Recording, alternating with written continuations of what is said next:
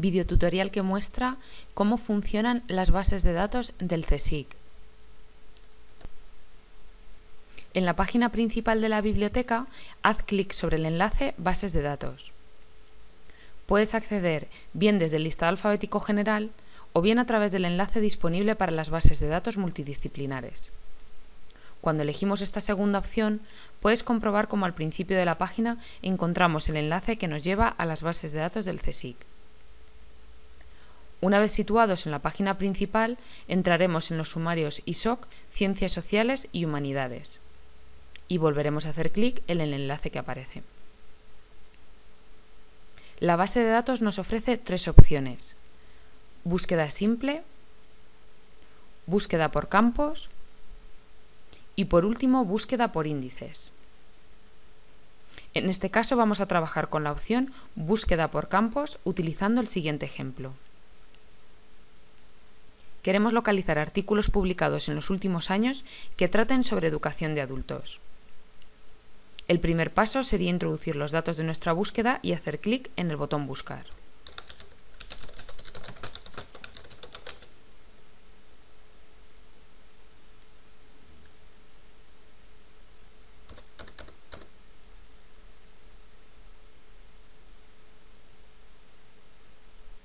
Podemos ordenar los resultados por distintos criterios, por ejemplo, por año de publicación, por autores, por el título de la revista, etc.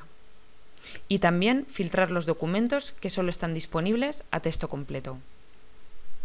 Para actualizar la pantalla de resultados, no olvides hacer clic en el botón Aplicar. Puedes guardar los resultados que más se ajustan a lo que buscas. Para ello, debes seleccionarlos y seguidamente debes hacer clic en el botón Guardar selección. A continuación, debes pinchar en el botón Seleccionados, Ver seleccionados y por último, Descargar documentos. Como puedes comprobar, la base de datos nos ofrece varias opciones para que elijamos el formato de salida que mejor se ajuste a nuestras necesidades.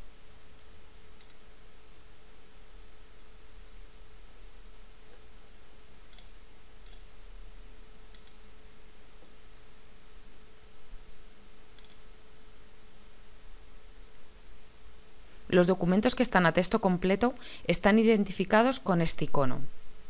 Para acceder al mismo, simplemente haremos clic en el documento que nos interesa y después en enlace al texto completo.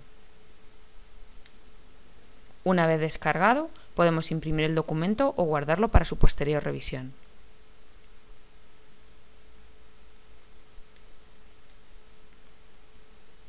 En el caso de que el documento que nos interesa no está a texto completo, debemos hacer una búsqueda en el catálogo de la biblioteca de la universidad. Para ello, el primer paso que hay que hacer es tomar nota del título de la revista donde se publicó el artículo que nos interesa, el número y el año de publicación. A continuación, abriremos la página web de la biblioteca, cuya dirección es www.biblioteca.uclm.es y entraremos en el catálogo general de la biblioteca. Una vez allí, seleccionaremos Catálogo de revistas e introduciremos el título de la revista.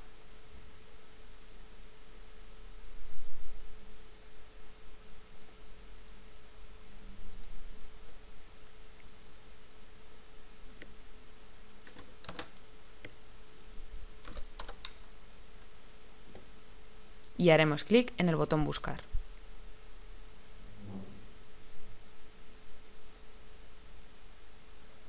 Identificada la revista que buscamos, haremos clic para ver su descripción completa y seguidamente entraremos en la pestaña Colecciones para comprobar si la biblioteca de la Universidad de Castilla-La Mancha cuenta con el número en concreto que necesitamos y en qué campus está localizada por si es necesario solicitar un préstamo intercampus.